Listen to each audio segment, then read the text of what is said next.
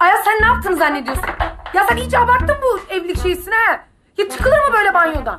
Ne var öykü ya? Sanki hiç görmedin. Allah Allah. Hem ben o kadar çirkin miyim? Niye yüzünü kapatıyorsun? Sana, sana, sana çirkin diyen taş olur bence ya. Yani yatacak yer bulamaz. Da, ay, ay. Tamam. Çık sen. Çık, çık, çık Ayaz. Nereye çıkayım öykü? Dedenle babaannenin arasına mı yatayım? Olmaz o. Ya gerçekten mi?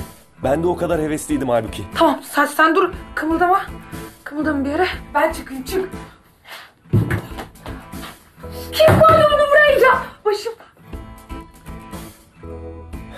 Kapı aşkım. Her zaman oradaydı.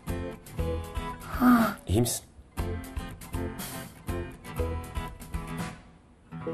İyi, iyi diyelim, iyi olalım değil mi?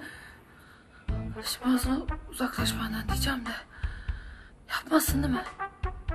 Kıyamazsın bana. Sen parfüm mü sıktın? Başın nasıl? Onu soruyorum. Aynı başım. Tamam ben anladım. Sen şimdi böyle otur. Ben üstüme bir şey giyip geliyorum.